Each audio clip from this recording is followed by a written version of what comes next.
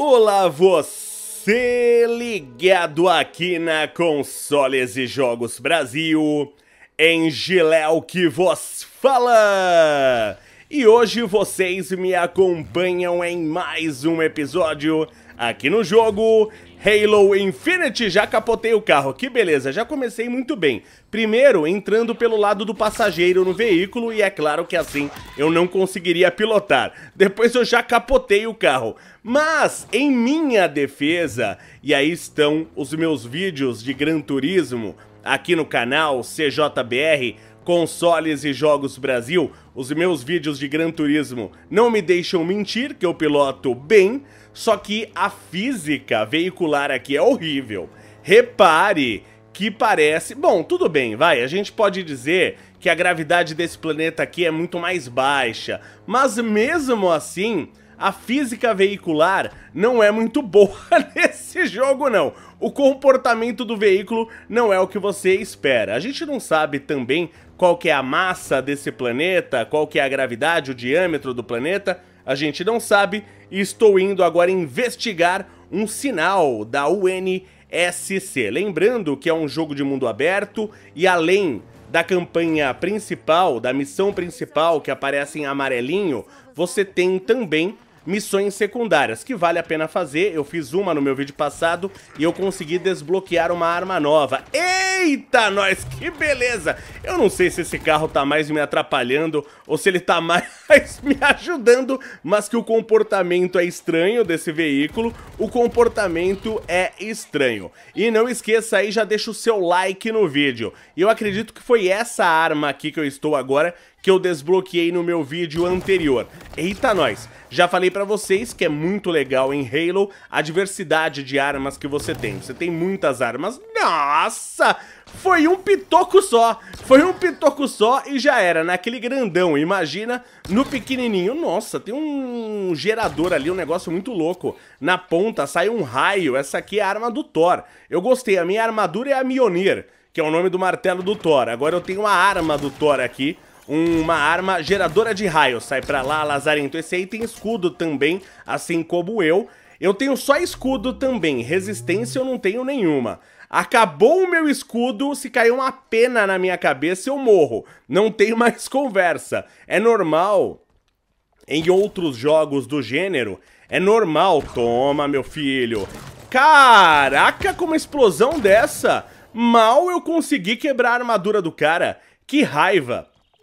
Como eu estava dizendo, em outros jogos desse estilo, é normal você ter a armadura e a vida. Então você perde a armadura e aí você tem um montante de vida. Aqui não, é a armadura e acabou. Acabou a armadura, já era.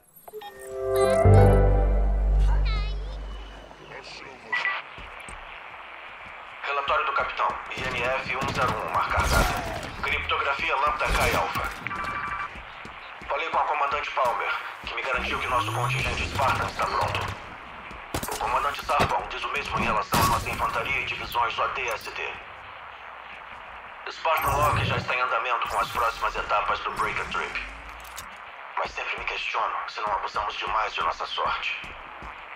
E agora, claro, vem a parte favorita do meu dia. O interrogatório com a doutora Housey. A boa doutora... Mais uma base sob controle do NSC e na sombra dessa torre banida. Quanto mais perto chegamos, mais forte o pedido de socorro do NSC fica. A fonte tem que estar tá lá dentro.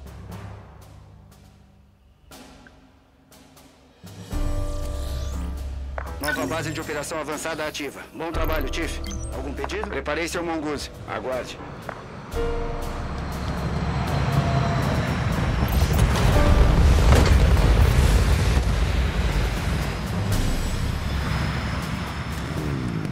Precisa de ajuda?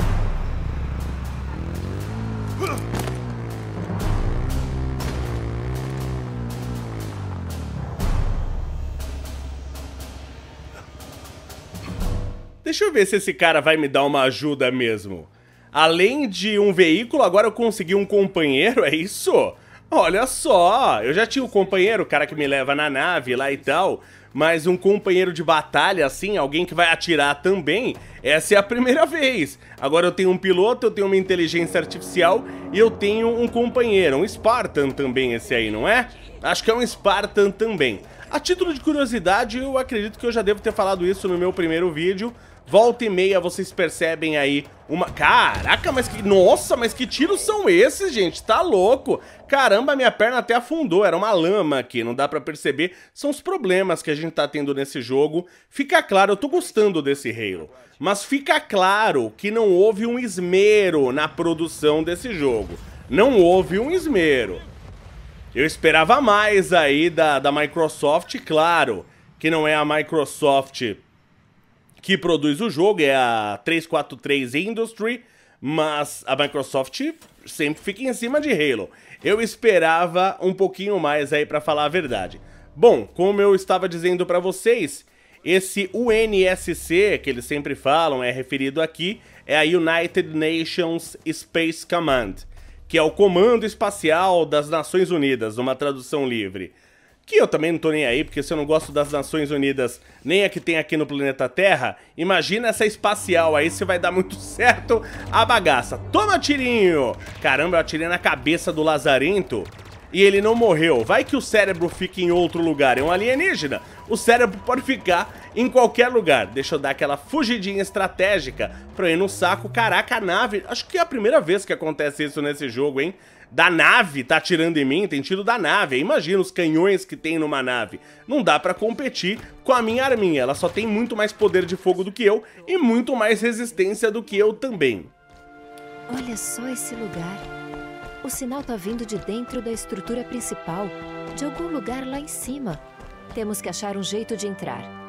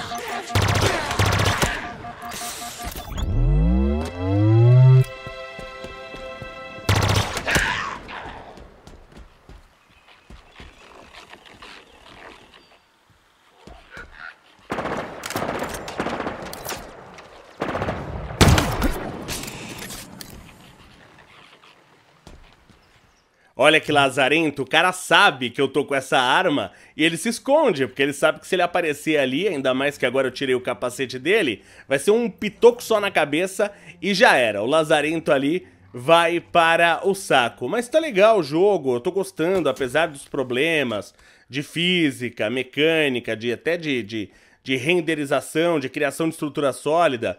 Tem esses problemas o jogo, mas o jogo no geral eu tô gostando. Eu gosto de Halo, Acho o jogo bem bacana, não gostava a princípio, fiquei fã do Halo mesmo com Halo 4. Foi o jogo que fez eu ser fã aí da franquia. Até pelo Halo 4, que é um milagre que eles fizeram no Xbox 360, eu esperava um pouquinho mais desse jogo. Pô, tô vendo essa estrutura aqui, tá me lembrando um outro jogo que eu esqueci o nome agora. Caramba, como é que é o nome do jogo? Esqueci, em algum, em algum momento eu vou lembrar. Bom, eu preciso localizar o sinal da UNSC, isso que eu preciso fazer neste momento, só que eu preciso passar por essa galerinha que todo mundo aqui tá querendo me matar na bagaça, então é bom ficar bem esperto aqui. Legal, como eu sempre falei pra vocês, eu gosto da temática de exploração espacial, Gosto das duas coisas, eu gosto da temática de planetas, eu gostei muito, dois jogos que eu gostei muito que eles eles funcionam de uma maneira que eu gosto. Eu gostei do... Oh, olha o, bichão aí. Demônio está aqui. Achou que eu ia permitir que entrasse na minha torre? Minha torre. Se engano. Minha instalação está bloqueada. Não há nada para você aqui.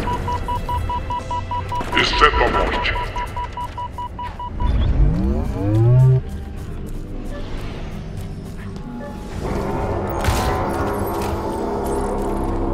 Confiança. É mesmo, mas é descabida. Quando o bloqueio foi acionado, houve uma queda de energia no que eu acredito ser um prédio de segurança. Eu marquei no mapa.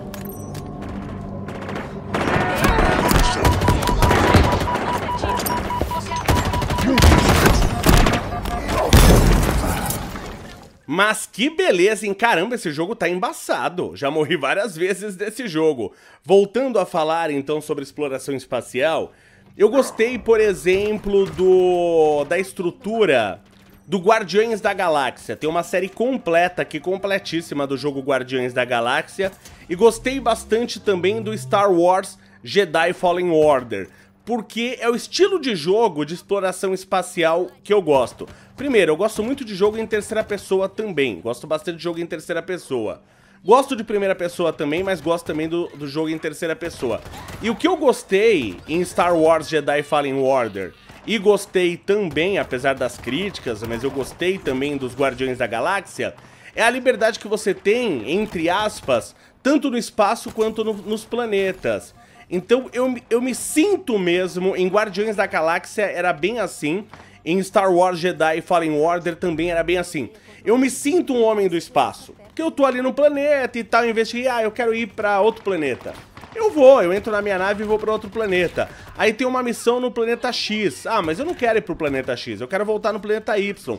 Eu posso, eu tenho essa liberdade, liberdade que eu não tive até agora nesse jogo.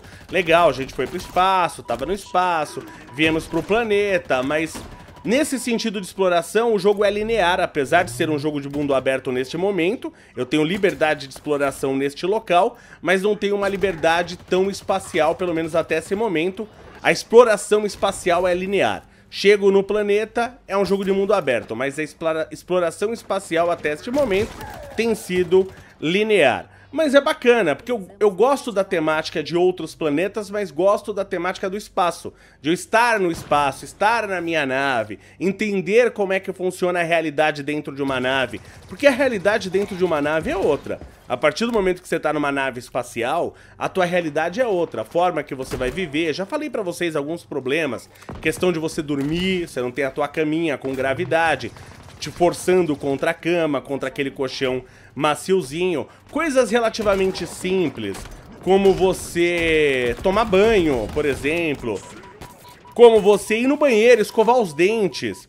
A gente tem uma dificuldade no espaço, dada uma facilidade que a gente tem no planeta Terra. Gra graças à gravidade que a gente tem aqui, apesar de nesse jogo, nesse momento, eu estar em outro planeta, tá? Estou em outro planeta. Então aqui tem a gravidade, que tá me ajudando do mesmo jeito. Mas quando você está no espaço, seja numa estação espacial ou seja na sua nave espacial, coisas simples pra gente, absurdamente simples, que a gente faz sem pensar, como escovar o dente, como usar o banheiro, fazer um pipizinho, por exemplo, no espaço, sem gravidade, isso é um grande desafio.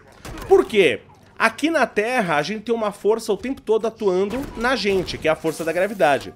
O tempo todo, essa força está atuando na gente. No espaço, não. E aqui na Terra, eu uso essa força porque essa força ela tá apontada para o centro da Terra. Então essa força ela tá o tempo todo direcionando os fluidos para o centro da Terra.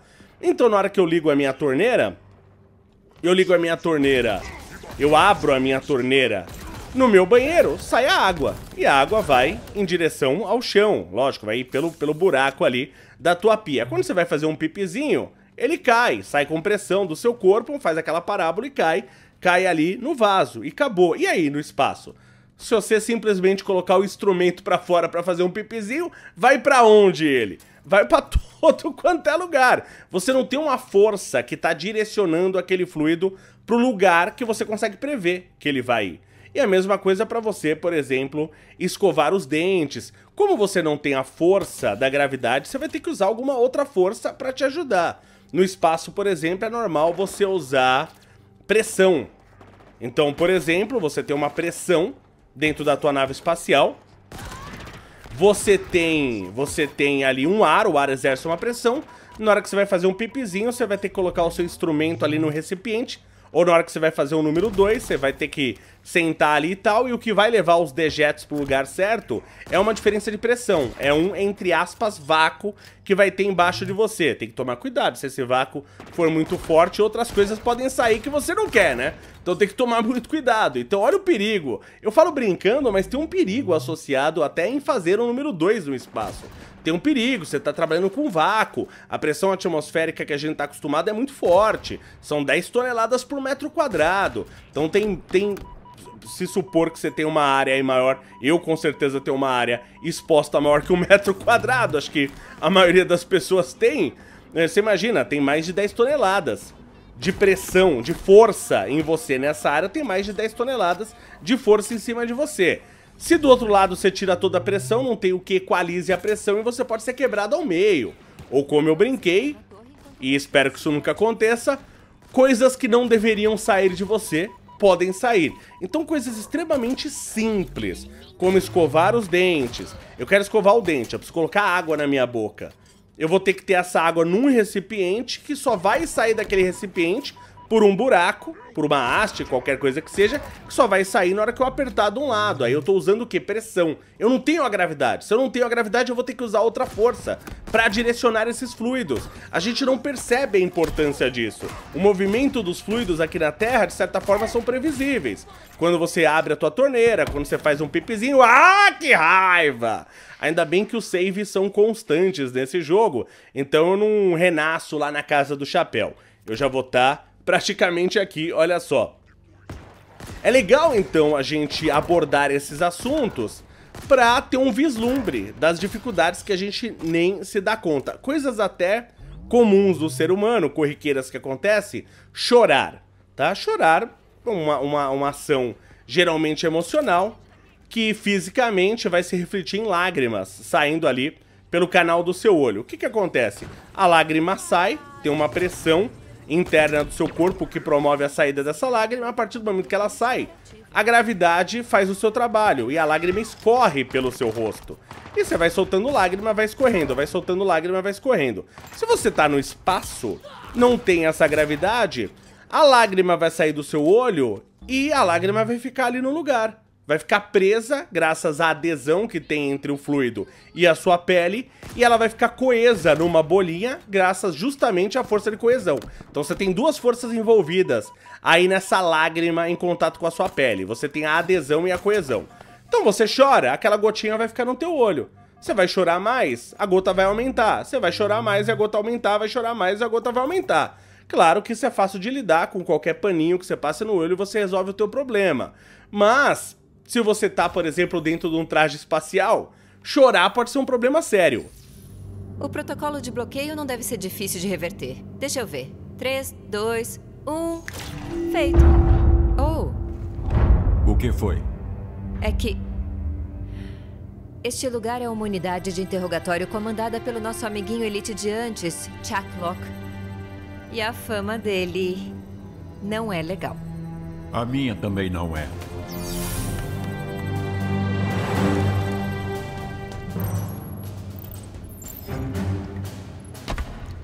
Temos que ativar manualmente o elevador gravitacional. Marquei no seu mapa.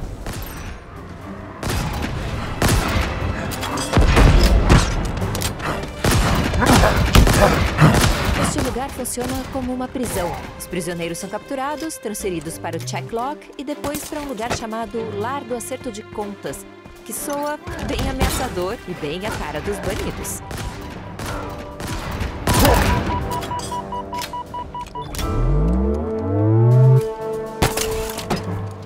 E agora tem um macacão metido a flash nesse planeta aqui que o bicho vai correndo pra cima de mim igual uma vaca doida. Não fica esperto não aqui pra você ver. Agora que eu tô aqui com a bagaça... Eita, nós, tem alguém mirando em mim. Deixa eu ficar espertão aqui. Então, continuando essa história, é difícil lidar né, com, com esse tipo de coisa. Quando você tá, por exemplo, numa nave espacial, está numa estação espacial, você tem que lidar com o seu número 1 um, com o seu número 2. Aqui, no planeta Terra, muitos jogam tudo, não tem nem tratamento, muitos jogam tudo no oceano. Até tinha uma coisa, quando você estuda livros antigos, eu acho que eu já contei isso em algum vídeo, você pega livros antigos de química, E a gente estuda, por exemplo, diluição. Então eu vou diluir, sei lá, vou diluir sal na água, vou diluir um fluido na água, qualquer uma substância qualquer na água, e a gente a gente estuda a diluição para você ter 5, 10%, 15%, 20%. E aí você vê o quanto que você vai colocar. Eu tô colocando, sei lá, por exemplo, em volume, eu tô colocando uma parte da substância X e nove partes de água. Então eu tenho eu tenho uma substância ali com 10% de concentração. Por exemplo, ignorando densidade, tudo tem a mesma densidade e tal, ignorando massa, uma continha simples aqui. Eu coloco uma parte para 9, no total eu tenho 10 e eu tenho 10% de concentração daquele meu fluido. Quando você estudava em livros antigos o oceano, para fazer cálculos de diluição no oceano, se considerava o volume do oceano infinito. Então quando você vai calcular a diluição, é sempre o soluto no solvente, é o soluto sobre o solvente. O solvente é a água do oceano. O elevador gravitacional.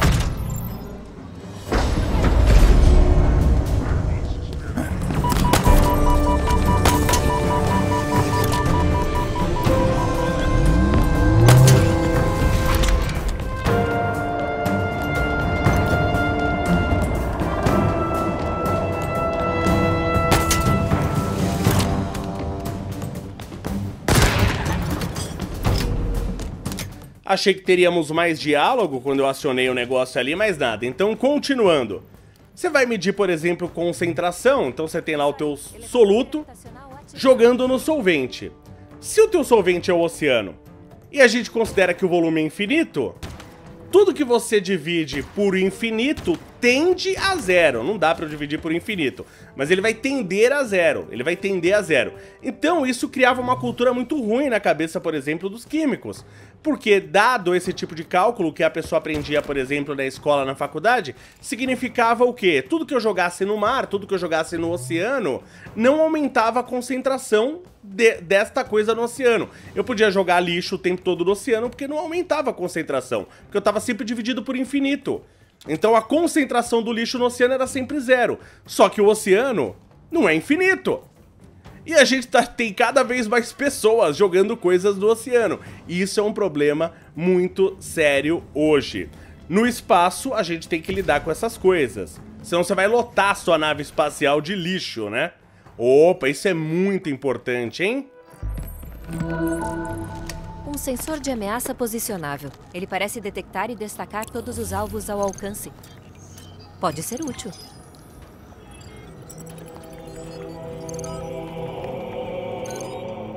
Essa armadura pertenceu ao Spartan Hudson Griffin.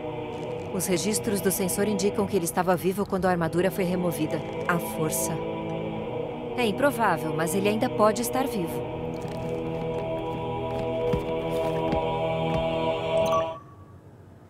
Sensor de ameaça instalado. Ah, vai funcionar no RB, uso de pad para acionar. Tá, é um dispositivo novo que eu não tinha até então. Agora eu tenho aqui pra utilizar. Eita, nós. Já tocou uma sirene. Vixe, já me descobriram. Olha o macacão, burrão. Abre a porta, ele tá de costas.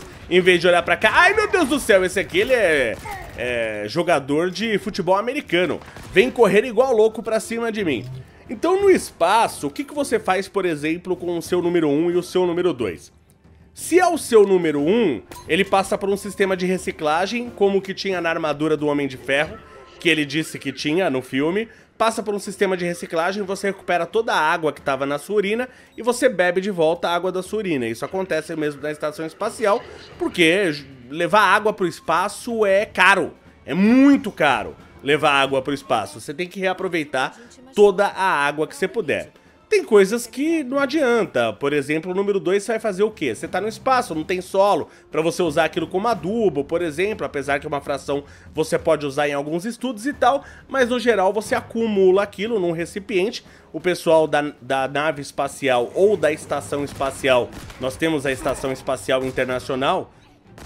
No caso da estação espacial, o pessoal, os astronautas vão lá emitindo o número 2, emitindo o número 2 e eles vão armazenando, como se fosse enchendo uma sacola, por exemplo, uma grande sacola. Encheu aquela sacola, o que, que você faz? Joga no espaço em direção à Terra. Joga na cabeça de quem tá aqui na Terra. Tô no espaço mesmo, é igual aquele, time, aquele filme, aliás. Já assistiu o filme O Poço? É até interessante esse filme. Tá na Netflix, eu acho que é original da Netflix. Quem tá em cima quer que quem tá embaixo se lasca. Então você faz o seu número 2 e joga na cabeça das pessoas aqui no planeta Terra. Você fala, caraca, Léo, mas que absurdo, quer dizer que eu posso estar tá andando na rua e uma sacola de número 2 do espaço pode cair na minha cabeça? Não, não pode. Chamaram de Silix. Claro. Eu chamo de algo que devia ter sido deixado ali. Os Elites, os Jackals, até os malditos Brutes parecem ter medo do que havia lá dentro. Isheron, o líder deles, só ficou parado olhando enquanto seguravam minha mão sobre aquilo.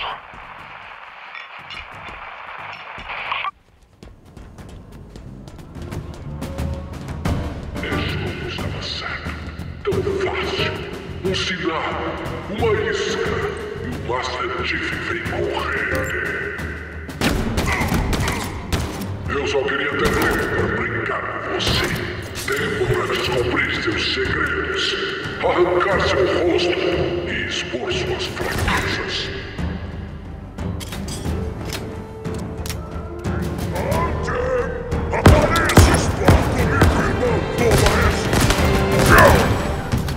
E o cara aí quer arrancar meu rosto, ele tá achando que é o Coringa, né? Eu já vi gente falar sobre arrancar muita coisa, mas arrancar o rosto eu só vi o Coringa fazendo isso aí. Que coisa de louco. Não! Tem o filme do Leatherface também. O Leatherface faz isso também. Arranca o rosto, mas o Coringa faz isso também. Esses dois que eu lembro.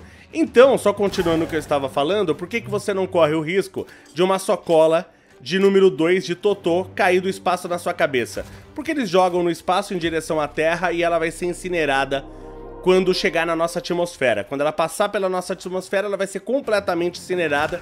Então, absol absolutamente nada vai cair na sua cabecinha. Fica tranquilo. Você teria risco de você tomar uma, uma chuva de número 2 aí na tua cabeça se você morasse na Inglaterra no século 17, porque eles não tinham sistema de esgoto, nada lá, então as pessoas faziam o número 2 e o número 1 um num piniquinho, que eu não sei como as pessoas viviam assim. Sinceramente, isso, isso é mostrado inclusive... Era, era o normal, tá? Isso aqui era normal até pouco tempo aqui no Brasil, isso era, era mais ou menos a regra até meados, indo até um pouco pro final do século XX, no Brasil isso era o comum. As pessoas não tinham banheiro dentro de casa, o sistema de esgoto em grande parte do Brasil. Então as pessoas tinham um pinico, né? Um piniquinho ficava embaixo da cama. A pessoa tinha vontade de fazer o número 1, o número 2, fazia e botava debaixo da cama. E aí você dormia com aquele cheiro. Eu não sei como as pessoas conseguiam fazer isso. Isso aparece inclusive na minha série de The Quarry aqui no canal. Tem uma série do jogo The Quarry, seria a, a Pedreira, que é uma novela, é um... É uma novela interativa e isso é mostrado lá nesse jogo, isso é mostrado nesse jogo.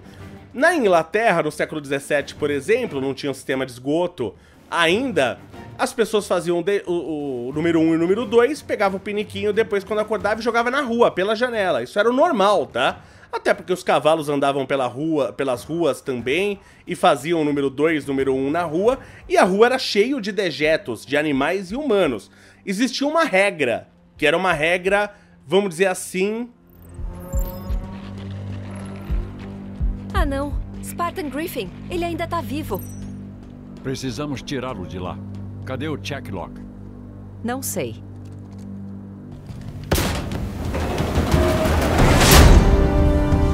Bem-vindo à minha torre, Master Chief. É aqui que você será destruído. É aqui que você contará seus segredos. Me vejo já já!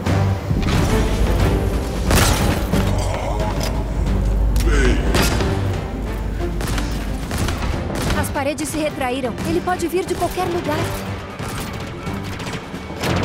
Siga minha fúria! Vou te mostrar o que é sofrimento!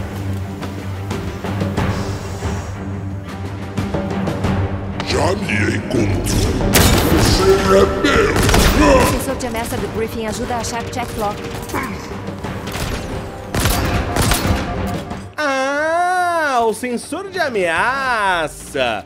Como eu não pensei nisso, pera aí, deixa eu lidar com esse cara aqui, a gente já vai já vai testar essa estratégia. Só para terminar essa historinha, então, existiu uma regra de etiqueta na Inglaterra, uma educação, vamos dizer assim. Você não podia simplesmente abrir a janela e jogar os dejetos pelo pinico, porque as pessoas atiravam mesmo para cair na rua e não na calçada. Só que você não podia simplesmente jogar. Então era de bom tom, não que fosse obrigado, mas era de bom tom que você gritasse avisando: lá vai bomba! Uma frase assim, né? Olha o balde! Que às vezes era um balde, não um pinico. E a pessoa simplesmente gritava: lá vai bomba! e jogava. Então se você estava distraído, você tomava no fezes na tua cara. Você andando de terninho lá na Inglaterra, tomava um balde assim na tua cara. Era perigoso você andar na Inglaterra. Isso é um problema muito grande na Inglaterra, tanto que a Inglaterra foi um dos primeiros países do mundo a criar um sistema eficiente, grande aí, de esgoto que existe lá, inclusive até hoje. Pô, muito útil isso aqui, hein? Esse sensor que eu jogo no chão cria uma bolha aí, você tem um raio de ação, e dentro desse raio de ação o lazarento não consegue ficar invisível. Se lascou!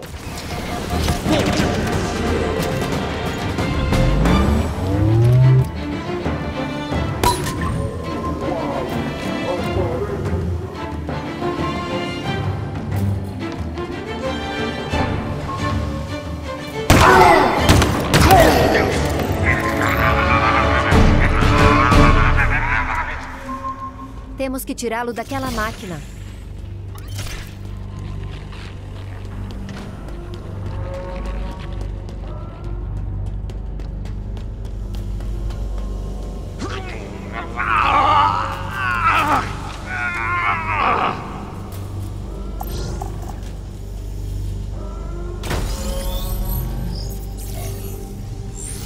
Desliga essa coisa. Tô tentando. Certo. Se prepare. Vou soltar ele.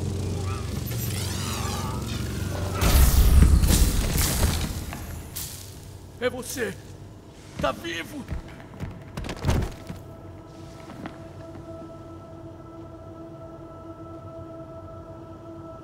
Chief, os banidos. Eu tentei impedir. Eu tentei. Calma. Você está seguro? Os banidos. Eles acharam uma coisa que chamam de conservatório. Isso é tudo que eu sei. Me pegaram à morte daqui. Numa escavação. Eu não consegui detê-los. Mas você consegue. Você precisa. Considere feito. Que bom. Que bom.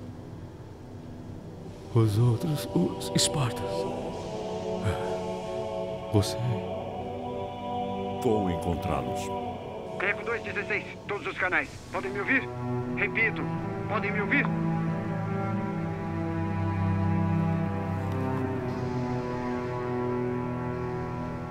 Chief? Grandão, seu sensor de movimento não tá se movendo. Ai, caramba! Vai! Chief, eu. Responda, por favor! Achou a origem do sinal? Não sei o que tem aí embaixo, mas seja o que for, tem que vir ou ficar aí. Tá me ouvindo? Uma escavação no anel? Esse conservatório deve ser uma instalação Forerunner. O que você acha que eles querem? Hora de ir.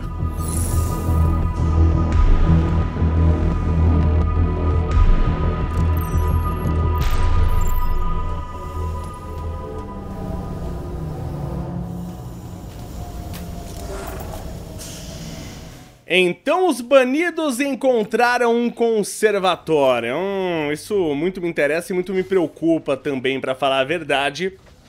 A torre, missão cumprida. E vou continuar a partir daqui no meu próximo vídeo. Muito obrigado aí a você que deixou o like. Quer falar comigo já sabe, só deixar o seu comentário que eu leio todas. Local de escavação, nova missão. Não esqueça de compartilhar esse vídeo. Você que não está inscrito, inscreva-se no canal. Quem já está inscrito, verifica se o sininho está ativado para você ficar por dentro das novidades. Porque, no geral, o YouTube não divulga nada dos vídeos aqui, mesmo para quem está inscrito e com o, o, sininho ativado. Imagina se você não deixa o sininho ativado ou não está inscrito, você não vai achar o canal aqui, mas nunca vai perder muita coisa legal. Então é isso aí, meus amigos. Fico hoje por aqui, desejando um ótimo dia a todos e até o próximo vídeo. Valeu, até mais, fui!